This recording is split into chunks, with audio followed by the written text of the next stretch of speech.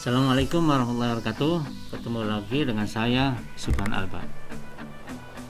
Uh, sekarang saya akan berbicara tentang bahwa manusia itu selalu ingin uh, dijadikan orang penting. Itu kebutuhan uh, dasar manusia bahwa manusia itu selalu ingin dijadikan orang yang penting ingin diuangkan ingin dianggap ada. Jangan sekali-kali menganggap orang uh, padahal ada tapi dianggap tidak ada. Itu sangat merendahkan. Lantas bagaimana caranya untuk bisa terampil uh, menjadikan orang lain itu selalu uh, dianggap penting? Karena penting bagi orang itu merupakan kebutuhan pokok jiwa manusia. Lantas bagaimana caranya agar orang itu e, dianggap penting? Ada tujuh cara, ada tujuh, tujuh tips yang perlu anda e, miliki e, dalam bergaul e, dengan orang lain agar orang lain menyukai anda. Bagaimana itu? Yang pertama adalah dengarkan mereka.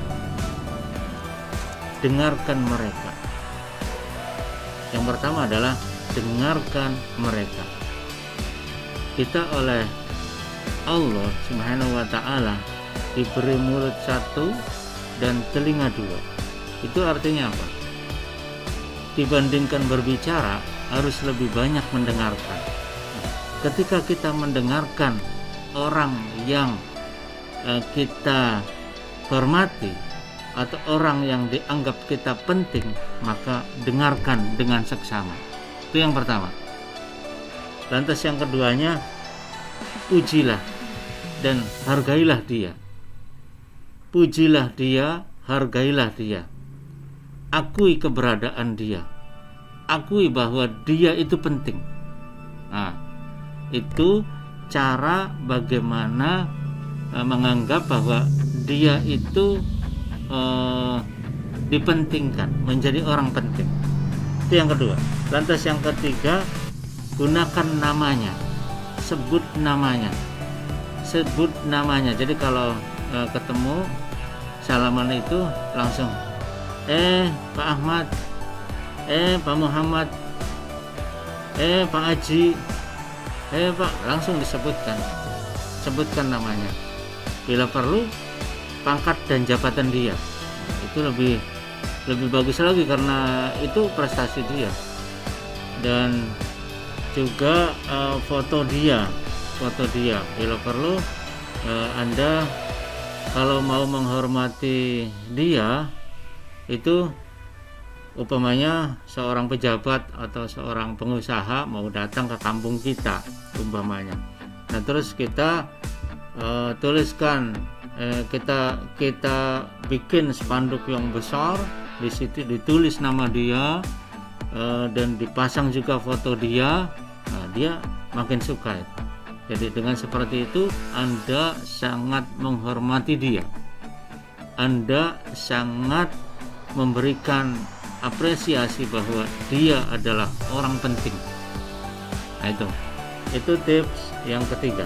Lantas yang keempatnya berhentilah sejenak sebelum anda menjawab mereka.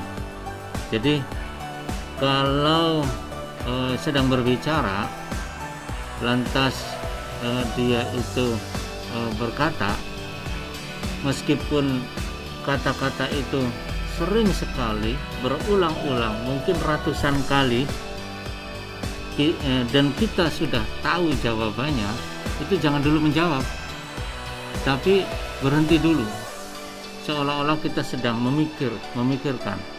Seolah-olah kita sedang mencerna apa yang dia katakan lantas barulah beri jawaban. Walaupun kita ini sudah tahu jawabannya itu itu juga. Jangan sampai antara pertanyaan dia dengan jawaban kita itu beradu. Umpamanya dia berkata, oh bapak lagi-lagi ngomong itu lagi-lagi ngomong itu. Saya udah tahu pak jawabannya. Nah, itu lebih lagi itu tidak boleh sama sekali. Gunakan kata-kata mereka anda dan milik anda. Itu yang kelima. Jadi gedung ini kan milik anda ini semua karena anda. Ini karya-karya anda. Ini uh, anda memang luar biasa. Semua yang ada di sini itu karena ide cemerlang anda. Jadi anda semua. Jangan oh ini kan karena saya. Oh ini kan karya saya. Nggak kepake itu. Orang males dengerin kita. Sambutlah orang menunggu untuk bertemu anda. Jadi kalau ada orang ada tamu umpamanya. Ya pak. Itu ada tamu pak. Nah, itu temui dulu. Temui dulu. Bilang aja e, nanti ya saya ada tamu dulu. Jangan dicuekin. Kalau dicuekin itu artinya anda tidak e, memberikan rasa penting kepada orang lain. Orang bisanya datang ke tempat anda ke kantor anda atau ke rumah anda. Itu artinya uh, dia uh, menganggap bahwa Anda sangat penting. Yang selanjutnya, perhatikanlah setiap orang di dalam sebuah kelompok. Nah, kalau kalau pribadi eh, kalau seumpama ngobrol berdua atau bertiga itu gampang kan? Satu-satu eh, kita hormatin. Nah, silakan pak. Bisa menghormatin. Gampang lah kalau satu orang. Nah kalau seumpama dalam satu kelompok banyak orang atau sedang ceramah gitu. Nah itu juga perlu disebut satu persatu meskipun tidak semua ya minimal tokoh-tokohnya aja atau eh, orang-orang yang dipilih secara acak secara acak. Nah, itu tujuh keterampilan membuat orang lain merasa penting.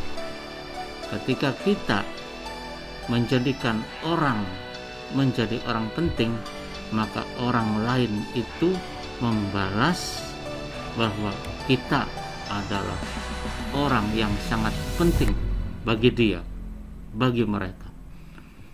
Itu saja yang perlu saya sampaikan. Kita ketemu lagi pada video berikutnya. Assalamualaikum warahmatullahi wabarakatuh.